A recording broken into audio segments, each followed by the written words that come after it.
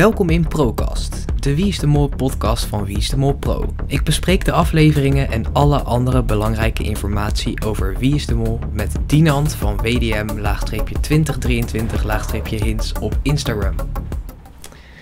Nou, ehm, hallo Dinant, welkom, fijn dat je er weer bent. Hallo, gezellig. Ehm, nou, we weten natuurlijk. Nou, even kijken. Eh, de eerste aflevering is geweest. En ehm, ja, wat vond je ervan? Direct wel een spannend begin. Want Ja. het had ook heel erg fout kunnen gaan. Ja, klopt. Ehm, Oké, laten we even een korte terugblik doen. De aflevering begon met Everon, die de kandidaten elk hun rol ging vertellen in het spel. Eh, daarna volgde een, een opdracht waarbij de kandidaten moesten ontsnappen uit kisten die ons erg bekend voorkwamen. Daarna volgde de volgende opdracht waarbij er opgetreden moest worden. En tot slot volgde de executie, oftewel de eliminatie nu, met Sarah als afvaller. Of toch niet als afvaller. Nou, zoals je al zei, het begin was natuurlijk een beetje spannend en zo ineens. Ehm, ik vond zelf dat intro met Everon, die de kandidaten voorstelt, best lang duurde. Ja, Eh, maar het gaf mij natuurlijk wel lekker de, eh, de Mol België vibes. Dat, dat is natuurlijk echt wel iets positiefs wat je kan hebben. En ik weet niet of jij die Mol België ook kijkt. zeker. Ja. Nou ja, goed. ehm, de reacties van elke kandidaat na het horen van de rol in het spel. Eh, daar vielen mij natuurlijk ook een paar kandidaten op. Vielen jou daar ook een paar kandidaten op? Ja, vrouwtje vooral. Vrouwtje. Maar ik denk niet dat ze het is. Nee, oké. Vrouwtje had zo'n hele gekke pokerface Ja. op. Zo'n heftige, geen emotie. Ja, Bij mij viel Ranomi ook nog op. Ranomi die eh, kreeg de vraag van Sarah of ze opgelucht was. En daarop antwoordt ze dat ze dat niet weet. Dat vond ik wel echt wel een beetje waarvan ik denk, ja, en de stem trilde ook helemaal. ja, precies. Kan ook gewoon zijn van de adrenaline en de spanning. En het kan ook gewoon zijn van, kut, toch kandidaat geen mol. Ja, precies dat. Ja, nou ja, en Soy, die legde dus de hoorn van de telefoon in een soort M neer. Ehm, vind je dat te ver gezocht? Of vind je dat... Nou, ik denk niet dat het iets is. Nee. Maar het zou wel mooi zijn. Als je het wel Ja, het. Ja, het zou een hele mooie hint zijn. Maar ja. Ja, dus natuurlijk ook met Merel was dat die hint. En nou ja, goed. Eh, natuurlijk gaan ook de hints en theorieën weer lekker flink rond via social media. Ehm, en dan gaan we even de allerbelangrijkste hints per kandidaat bespreken. Eh, maar voordat we dat doen, wie is op dit moment jouw mol, Dinant? Ik zit nog een beetje te twijfelen tussen, eh, ja, wel drie vrouwen. Waarvan Annik lijkt me aan de ene kant wel een goede mol, maar ook te obvious. Ja, En de eh, andere twee zijn Ranomi en Anke. Ranomi en Anke. Hm. Ja, Anke begint ook een beetje op te borrelen bij mij. Maar ik blijf voor nu blijf ik bij, als ik één iemand moest kiezen, Ranomi. Ja, ik vind het lastig dit seizoen. Nou ja, ik vind elk seizoen lastig tegenwoordig. Ja, Oké, nou dan gaan we allereerst naar Anke de Jong. Eh, er zijn nog niet heel veel hints naar haar te leiden, toch? nee, niet heel veel. Nee, het enige wat vooral opvalt is dat ze tijdens het optreden in de laatste opdracht, nadat ze langs het jurylid is gelopen, eh, zegt ze dan in haar biecht van dat het jurylid een foutje had gemaakt. Ja, Nou, als, als mol eh, zeg je dat natuurlijk in een molbiecht. Maar als kandidaat is dat eigenlijk helemaal geen fout, want je wilt juist geld in die pot hebben. Dus dat, weet je, dat, dat vond ik echt wel iets geks, gewoon, dat ze dat zegt. Eh, en voor de rest waren er niet zo heel veel hints naar Anke. Eh, nog wel eentje van verbinding. Eh, dat er maar twee duo's, die hadden natuurlijk uiteindelijk geld verdiend in de eerste opdracht. In de eerste geldverdienopdracht. Ehm, en doordat ze juist de locaties verbonden, dus verbinding, de afleveringstitel, werd uiteindelijk geld verdiend. En dat kan leiden naar de mol die even denkt van... Goh, laat ik me even minder verdacht maken of zo. Ja, en in principe, het is ook niet heel veel geld, hè?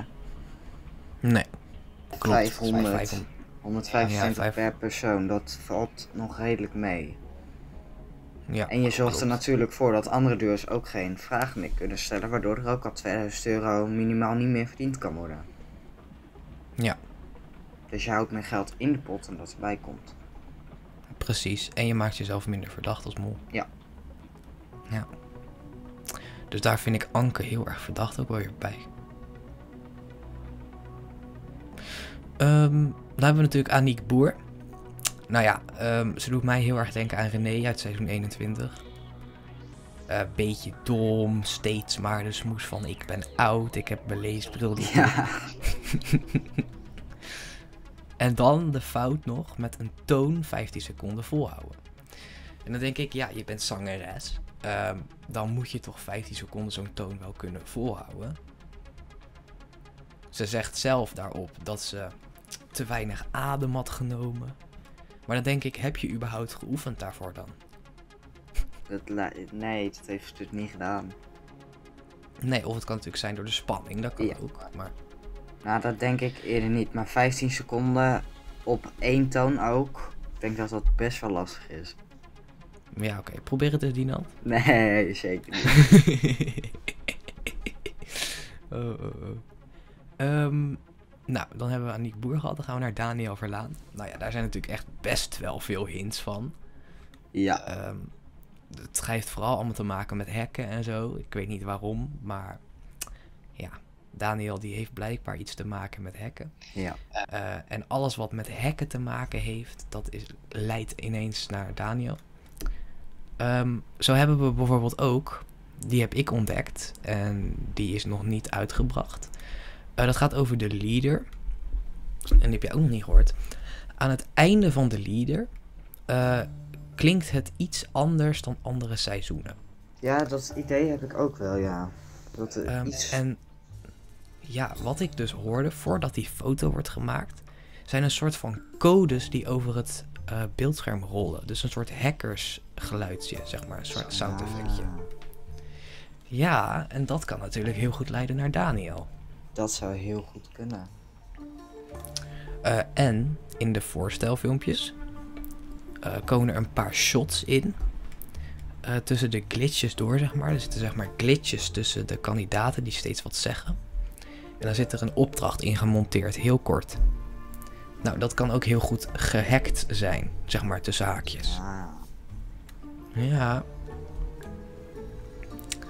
Eh, heb je nog meer? Heb jij nog iets van een opvallende Daniel Verlaan hint? Nou, ik niet heel veel meer. Niet meer. Niet meer. Niet meer. Bijvoorbeeld eh hints dat hij zong. Dat zong niet precies. Even kijken. I'm not that innocent zong hij. Bij de laatste muziekopdracht. Oh ja, die had een tot goed gevonden. Of niet? Ja. Hij zingt daar in eh, de tweede opdracht, de tweede geldverdienopdracht, zingt hij ehm, samen met Ranomi. Nou ja, Ranomi zingt niet mee, maar zingt hij I'm not that innocent. Ehm, en dat kun je natuurlijk ook leiden als eh, ik ben niet onschuldig. Ja. Dus eh, ja, dat vind ik ook wel een goede hint. Nou, dan hebben we Vrouwtje. Eh, heeft niet veel verdachts. Ehm, maar is nog een beetje op de achtergrond. En dat is natuurlijk een eigenlijk altijd wel in aflevering 1. Eh, het enige dat heeft is een goede pokerface. Eh, ze is niet ontsnapt uit de kist tijdens de kistopdracht. Ja, weet je, als Daniel de mol is, dan snap ik dat. Want je zit samen met een mol in een kist opgesloten. Ehm, ja. Heb jij hier nog toevoegingen op? Nou, vrouwtje, die verdenk ik niet zo. En ik heb ook nog niet heel veel hints naar haar ontdekt. Nee.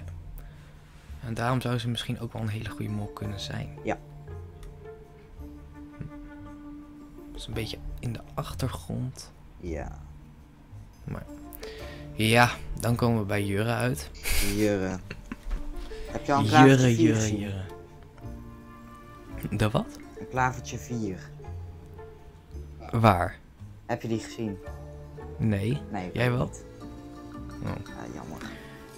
Nou ja, er is in ieder geval een hint die gaat over die gele bad eentjes. Dat eh Jurre geluk Guus geluk is. Ja, dat heeft met elkaar te maken. nee, eh Jurre geluk is deze aflevering eh, vooral gesnapt door het jurylid. Ehm, en voor de rest heeft hij best een positieve invloed, naar mijn mening. Ehm, ik ben benieuwd hoe die gaat zijn in de aankomende afleveringen. En eh, ik heb hem zeg maar zelf al afgestreept als mol. Want dit is geen mol. Ehm, denk dan hebben we als als je zo'n reactie, die zou je niet maken bij de telefoon. Nee, precies. Ja. ja. Ehm, oh ja, want hij zei toch mijn hart. Mijn hart. Ehm, dan hebben we Nabil. Beetje veel aanwezig. Ja?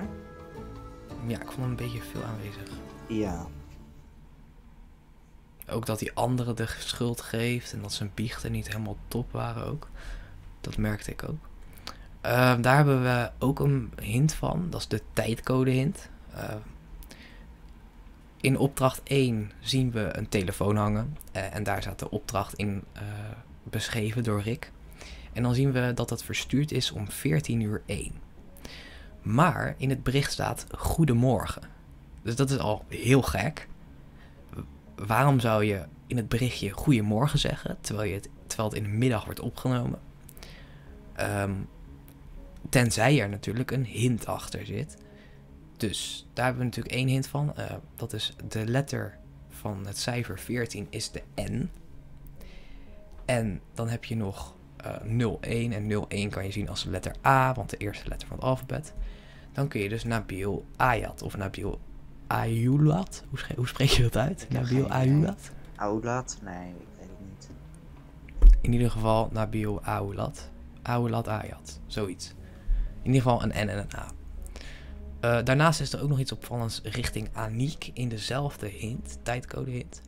Als we namelijk op minuut 14 en 1 seconde eh, kijken in de aflevering, dan zien we een doorlopend shot van Aniek naar Daniel toe.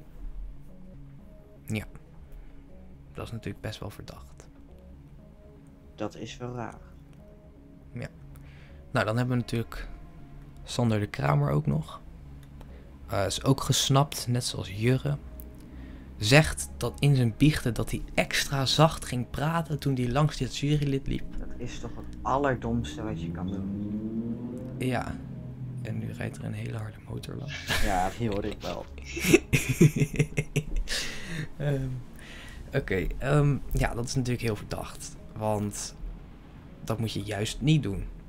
Want dan hoort hij niks achter je. Dan hoort de jurylid niks achter zich. Ja, dan gaat hij sowieso de hand opsteken. Nou ja. Eh, en daarnaast wist hij de locatie VOC Vegetable Garden precies uit zijn hoofd nog. En andere kandidaten die wisten het niet meer. Eh, waaronder Sarah. En Sarah is natuurlijk een soort van afgevallen. Ehm, ja. Maar zou ze het nog kunnen zijn?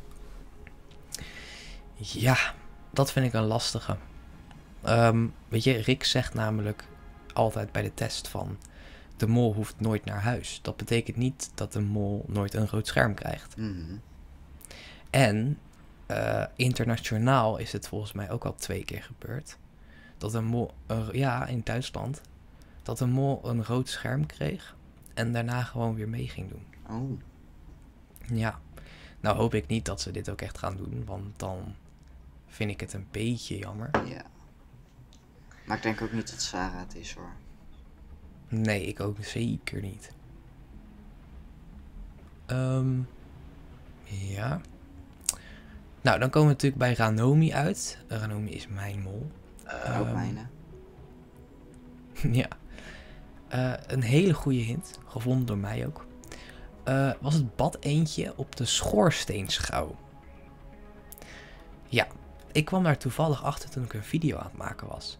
eh, en aan het editen was, een beetje aan het zoeken was en zo. En toen kwam ik ineens uit op het shot dat Ranomi ineens random iets pakt van een schoorsteen. Dus ik ging kijken wat ligt er op die schoorsteen allemaal. Ze pakte dus dat gele bad eentje. Nou, die houdt ze dus voor geen reden een paar seconden vast. En legt ze daarna weer terug. Ook zonder reden. Ja, als ze het nou nog op tafel had gelegd of zo, had ik het wel sterk gevonden. Maar ja, ik denk dat het wel zou kunnen. ja, ze kan natuurlijk ook proberen om eh, dezelfde toon aan te geven. Ehm, wat trouwens ook de opdrachttitel was, toonaangevend. Dus het heeft iets met die tonen te maken, denk ik.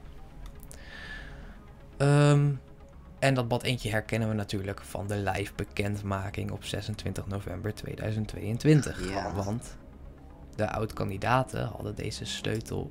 eh, hadden een bad eentje om hun sleutel zitten. Als sleutelhanger. Ehm, nou, dan komen we uit bij Soy Kroon. Wat heb jij, heb jij iets over Soy Kroon wat je denkt, nou, dit is echt perfecte molactie? Nee. Hij lijkt mij gewoon een beetje kandidaatachtig. Hij zou heel graag de mol willen zijn, maar hij is het niet. Nee, precies. Dat vind ik dus ook. Ehm, hij is meer, is hij, hij is gewoon een beetje de bekendste kandidaat. Ehm, en ik denk dat heel veel mensen dan ook meteen de neiging hebben om op hem te stemmen, omdat hij gewoon een van de bekendste is. Eh, ik ben benieuwd hoe dat in de verdere verloop gaat verlopen in aflevering 2, aflevering 3. Eh, nou ja, Sarah hebben we geen hints voor nodig natuurlijk. Eh, ze kan zeker nog de mol zijn, in mijn op- optiek. Ehm, streep jij haar meteen af? Ja, eigenlijk wel. Ja, hè? Want ik denk echt niet dat ze dat zouden doen. Nee, want dan moeten ze heel die app weer aanpassen, dat ze geen punten meer in kunnen Ja. zetten en zo. Eh, ik las ook op het wieisdemol.com forum toevallig vandaag. ehm, dat het kan zijn dat ze dan nu een afval, afvallerloze aflevering hebben. En dat ze het op deze manier aanpakken. Dat het wat spannender blijft voor ons. Maar ja. Ik weet niet of dat een beter idee is van ze. Maar... Ehm, nou, dan hebben we ook nog twee hele interessante hints. Namelijk de muziekhint. Eh, de tekst van het muziek van opdracht 2, waar ze geld konden verdienen, ehm, is vertaald. Oh. Oh jee. Ja. En eh, het gaat een beetje over God en over het geloof en zo. En je hoort ook ertussenin sta- staan: Ik sta voor je. Ja, wat als. Wat als een van die vier kandidaten. Ik sta voor je heb gezongen. Dat zou toch mooi zijn. Maar Dat als je denkt aan geloof, dan kun je ook weer aan de Passion denken. En dat heeft Zoe dan dit jaar weer gedaan. Ja, ja. Nou, Dat is wel weer. Ja, dat is wel weer een goede hint naar sorry. Dus we moeten hem denk ik niet uitsluiten, maar ook niet op nummer 1 zetten. Nee, precies. Ehm, over zo'n hint gesproken. We hebben ook die stemvervormer. Oeh. Ja, ik heb die video heb ik toevallig vandaag gemaakt. Oeh. Ja, eh, die komt straks online. En ehm, daarin hoor ik Aniek. Oh. Oh.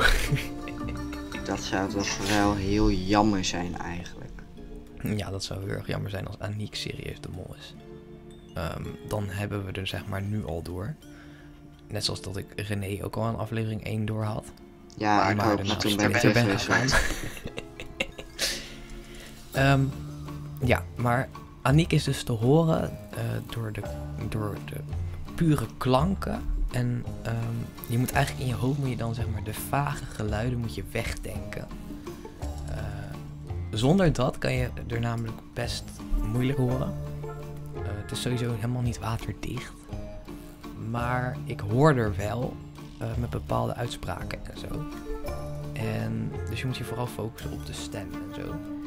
Ehm, voor de luisteraars onder ons, hier volgt het fragmentje van de stemvervormer. Eh, pas op voor je oren, want het kan niet heel fijn klinken. Ehm, ja.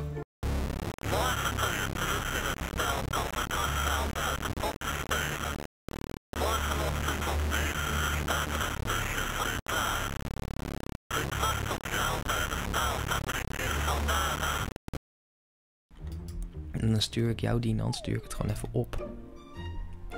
Kan ik jou dat in de chat sturen? Ik kan jou dat in de chat sturen. Dan is het. Deze is het. Als het goed is. Ik weet niet of je het kan. Ja. Oké, luisteren is goed. Hmm. Oh, wacht, dit is trouwens de verkeerde die ik nu stuur. Ja. mm, Dit is de verkeerde. Dit is niet de Oh, goede. ik vond hem al. Eh, deze. Ja, hoe heet het? Je hoort hem heel slecht inderdaad.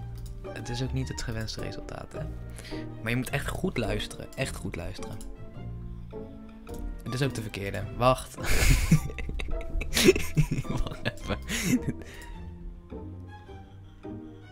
Oeh. Deze. Dit is de goede. Oké, de laatste is de goede. Oké.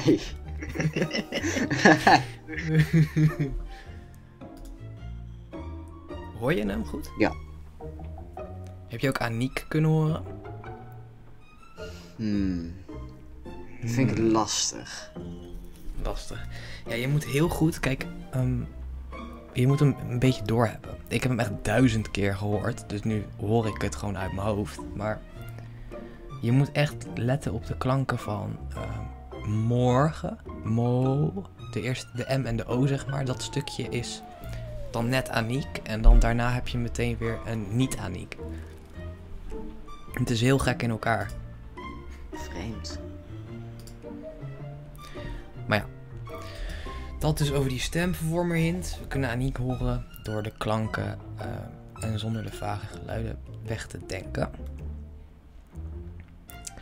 Eh, trouwens, voor meer hints en theorieën die na deze podcast gevonden worden, verwijs ik je graag naar eh, mijn Instagram WDM-pro of die van Dinant WDM-2023 hints. 23.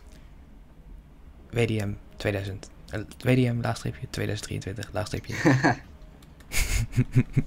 We leven niet meer in 2023, jongens. Ehm, nou, wat hebben we gezien qua locaties en land? Een hele mooie locaties. Ja, ik vond eh, ehm, bijvoorbeeld het drone shot. Eh, als Rick aan het praten is en Rick die loopt weg. Dat drone shot vond ik heel erg vet. Even een keer wat anders dan alleen maar meteen lieden erachter. Ehm, en ook eh, nieuwe cameratechnieken zie ik er ook in. Als Sarah de test aan het maken is, krijgen we een soort shot van haar die de test aan het maken is. En die gaat inzoomend erheen. Was wel vet. Vond ik zelf.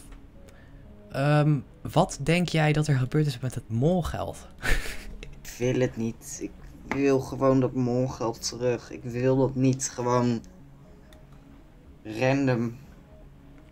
Dat het niks is. We willen gewoon een Ja. penningmeester. Precies, het heeft gewoon iets. Heeft gewoon iets speciaals toch wel. Want dat mis ik Ja. ook altijd wel als ik naar de Mol België kijk.